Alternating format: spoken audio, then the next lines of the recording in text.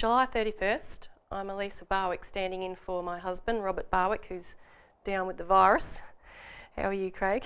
Oh, well, I'm getting better, thanks, Elisa.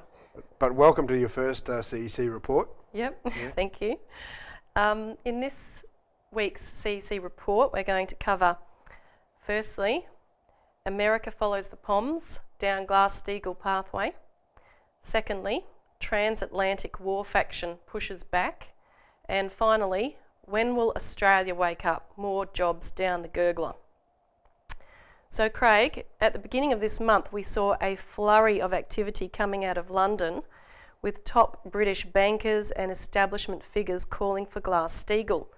Yeah, look, I think it's really important for our listeners to get a grip on what this means because you know we've been talking on this show for a long time about Glass-Steagall reforms. Now, what the Glass-Steagall is is a return to the 1933 banking reforms initiated by Franklin Roosevelt to bring the commercial investment banks back into line at that point. What he did was he said we're going to cut the speculation and separate out the legitimate commercial banking from the investment banking.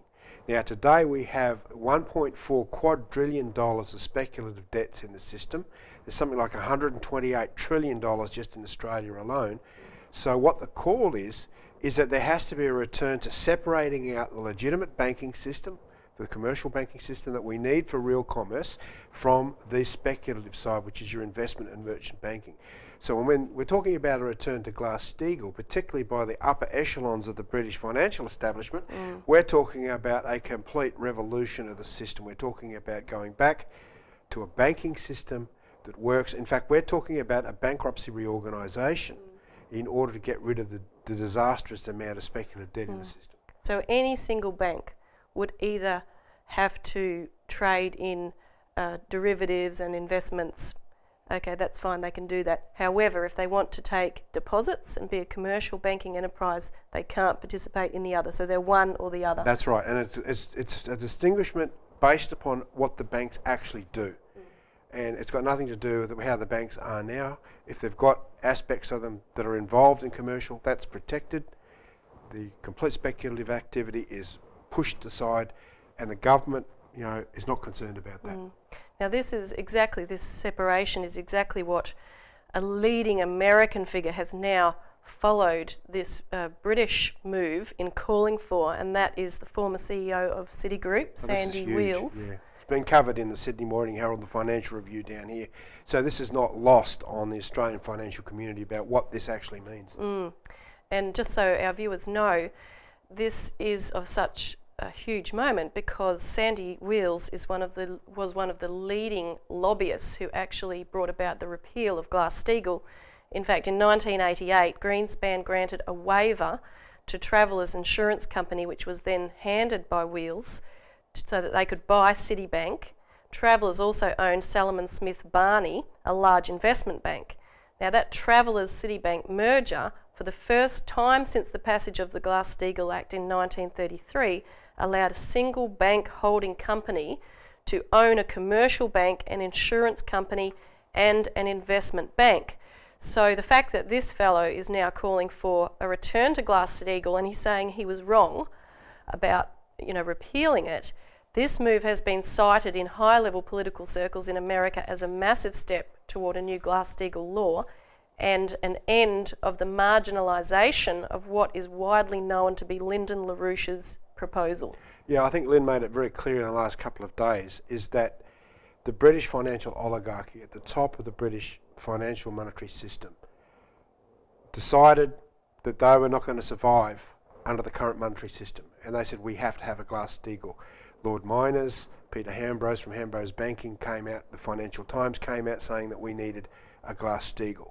What LaRouche is saying is that this is an institutionalised response now from the United States because of the financial oligarchy in the US, that the US is responding in this way to, it's not just a personality coming out and supporting, but this is a policy shift, transatlantic policy shift towards the Glass-Steagall. And those, look, this has created an enormous stink.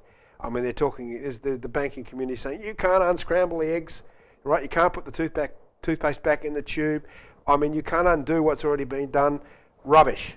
Look, the problem is that uh, with the, the, the Frank Dodd bill, the whole, you know, the um, the Volcker rules, all these things do not look at what the type, what the system is that we have in place, which is a monetarist speculative system. It's where money itself is given a value. Money is an idiot. It should never be given a value, and it should be controlled very tightly by sovereign national governments. So what the Glass-Steagall does, it says we're not going to have this speculative value for money anymore. We are going to re-regulate the entire monetary system. We're not going to give money an implicit value. We're going to make sure it comes under the control of nation states. And look, there's a lot of countries around the world that would jump at the opportunity of re-regulating their currencies. Take, for example, what's taking place in Europe right now. You've got a massive move away from the euro.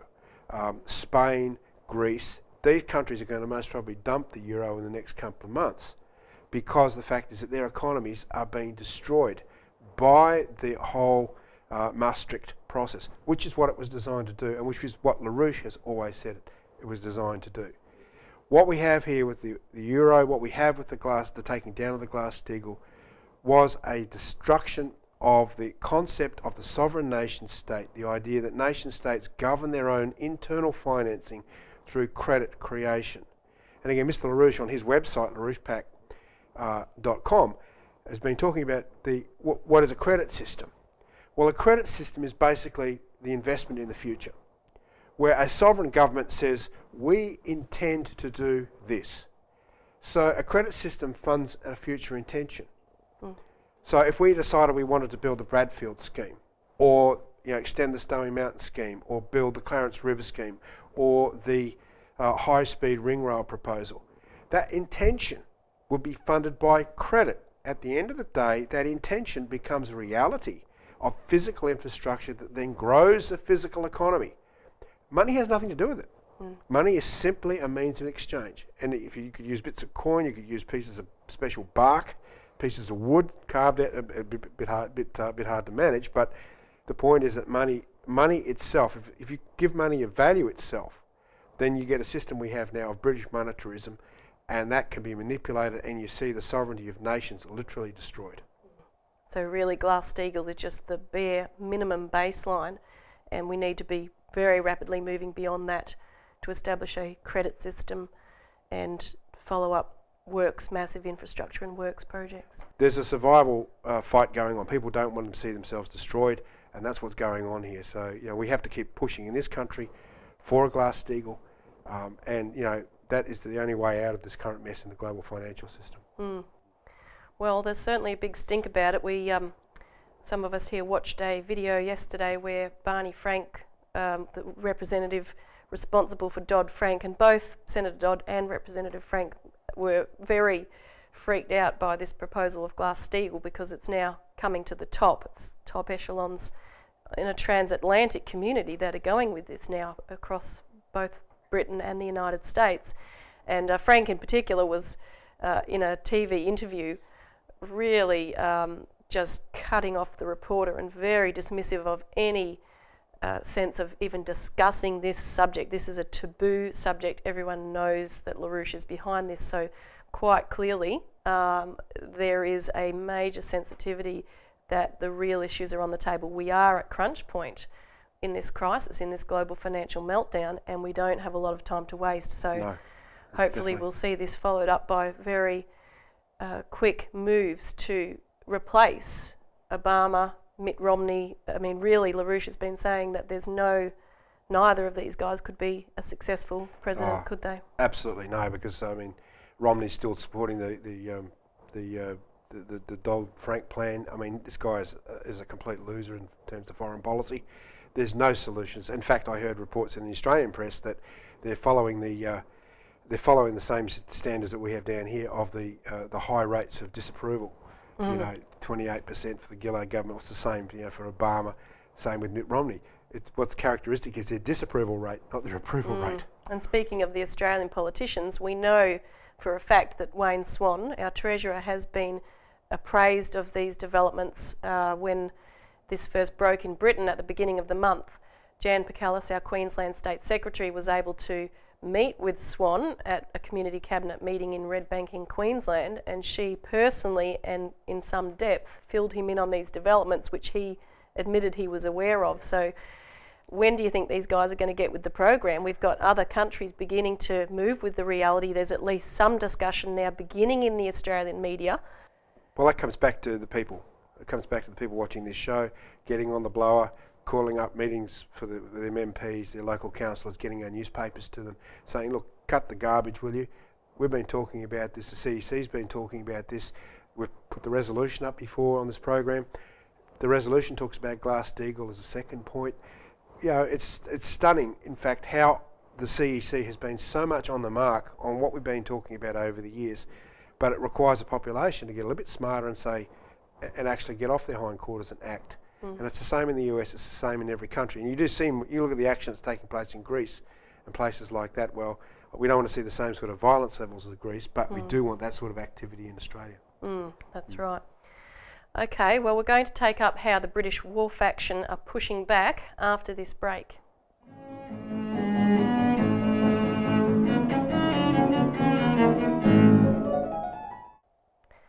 Welcome back. Now we're going to discuss transatlantic war faction pushes back.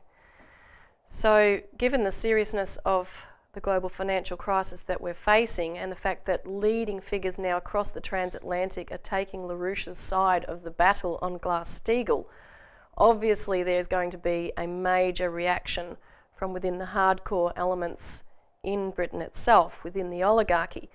Now, Lyndon LaRouche's wife, Helga Zepp LaRouche, put it this way several days ago. She said that this faction would rather risk a military catastrophe than accept the rise of the Asian countries while the transatlantic region goes down.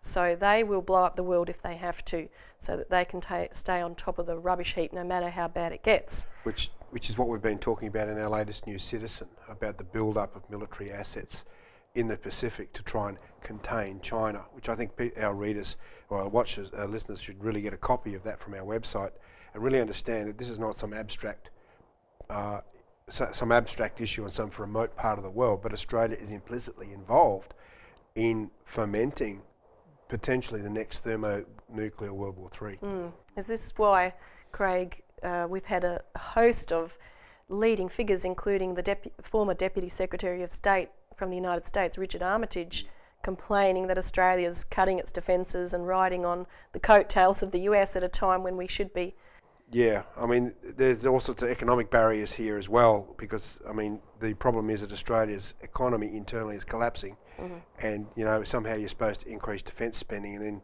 the enormous amount of defence spending they're talking about, we can't actually do economically, but that doesn't mean it's not going to get done because mm. the intention at the end of the day is that if Australia's called to build up its, its weaponry to take on China in a con- military confrontation, then that's what Australia will do because that's what we've always done. It's not a good policy, and there's a big split in the military fac- uh, military int- uh, intelligence um, uh, um, community here in Australia about the way that Australia should proceed in defence strategy.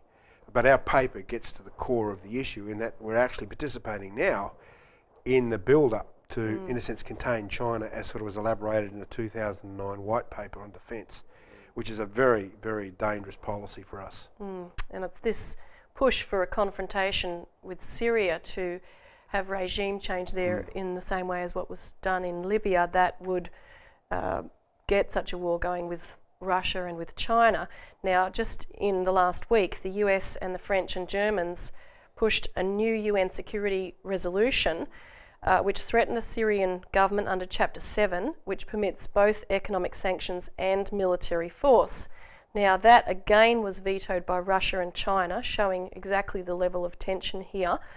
But the US then tried to whip up a frenzy along the lines of the Tony Blair dodgy dossier about Iraqi weapons of mass destruction, which was used to launch the war in 2003. This time about, as we all heard on the news, Syrian chemical weapons.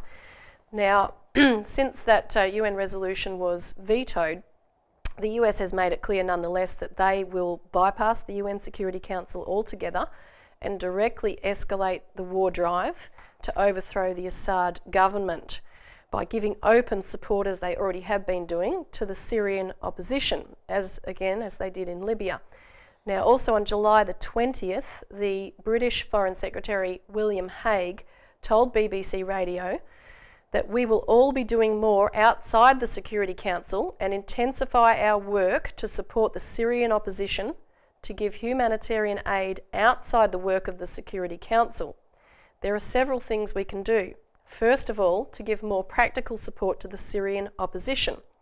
And he did go on to say we do not give lethal support. Humanitarian support, you've got to be kidding. That is just a straight, blatant mm. lie. Mm. Look, they've, what we've discovered in the last day or so, Elisa, is that the funding for this comes from the same apparatus as the funding for 9 11. This is, the funding is coming from the Saudis, it's coming through British conduits and uh, American complicity. You're talking hundreds of millions of dollars here of funding for weapons. Now, how do we know this? Well, look, the fact is, in the last uh, you know, couple of days, there's a Washington-based organisation called the Syrian Support Group. Now, they openly advocate uh, arming the Free Syrian, Syrian Army, and it was announced this week that the Treasury's Department Office on Foreign Assets Control has granted it a waiver to provide logistical and financial support for the armed resistance. Now, the OA, OFAC decision is huge. Brian Sayers said from this particular group. He says it gets us uh, the leeway to support the Free Syrian Army in broad terms.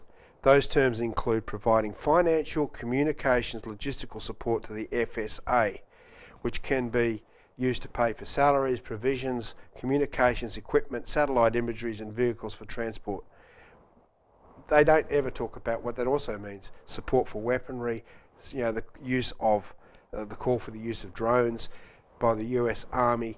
Look, this is a private uh, organisation being co opted by the, the government of the, United, of the United States in order to say we don't support this formally, but they're using private channels in order to foment the war, which is exactly the intention of what the British Foreign Minister Hague wants. They want a war against Russia and China, as Helga said, if they can't have their way in the global financial system. They're like they don't. Uh, if they see a Glass-Steagall coming down, then they will foment a war first and foremost. And these opposition groups in Syria on the ground are intimately connected with Al Qaeda and are Yes. known to be so. Al Qaeda has declared jihad to go in and overthrow the Assad government.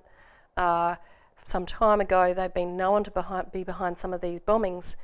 And, uh, you know, so why is the United States openly supporting Al Qaeda, literally, and uh, helping them to overthrow the Assad government when these were the people behind 9 11, which Well, killed that's so many Americans. this shows you how desperate the the British are that they're using their puppets in America, like Obama, to try and get a war going.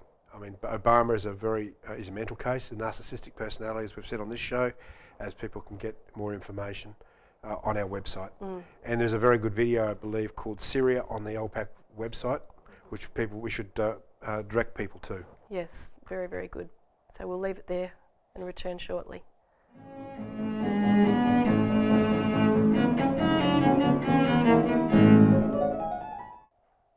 Welcome back. When will Australia wake up? More jobs down the gurgler. So, Craig, there has been yet another round of job losses. These large job losses and shutdowns, which were once the odd occurrence, you know, you'd have a major shutdown every month or a couple of months. Now they're becoming seemingly perpetual, a daily occurrence. What's going on? It's a shutdown of our physical economy, Elise. I mean, the fact is the monetary system is just destroying, destroying our capacity to uh, to maintain these jobs. I mean, we have a policy of free trade in this country, and that's literally and globalisation and privatisation. It's literally destroying them. Uh, literally. I mean, look, this week uh, we've seen the uh, the shutdown of the Kurnell uh, petrol refinery in New South Wales, 640 jobs. Now, this is a tragedy. This is a, not just a tragedy, but it's a national security issue. Here we are, a nation, an island nation state, right, that's saying we don't need to refine our own oil. We, we'll get it from Asia uh, when we can. At the moment, that's fine. But what happens if there's some sort of a problem, like we've been talking about with China, right? It, it may not be any cause of our own, but the problem is how do we get enough refining capacity to uh, to pr- pr- produce the necessary petrochemical product projects uh, products for us? Then you're looking at, for example, another 164 maintenance jobs going from Qantas at LTQ, the airline uh, engine man- maintenance facilities being shut down. These are high tech jobs literally being lost. But the real scary one is what we've been talking about a lot on this show is the shutdown of, of our machine tool sector, and that's the car manufacturing sector. Now, it's come to light that Ford, for example, has not made any plans for the production of any more Fords or motor vehicles, no new models, for the year 2016 onwards.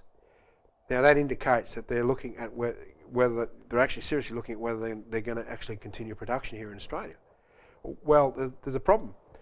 If Australia's reduced its tariffs on the car industry to the point that it's no longer uh, cheaper to produce the cars here in Australia than to use their huge production plants in Southeast Asia and simply ship the cars in, why would they keep plants open here in Australia? And this is the problem.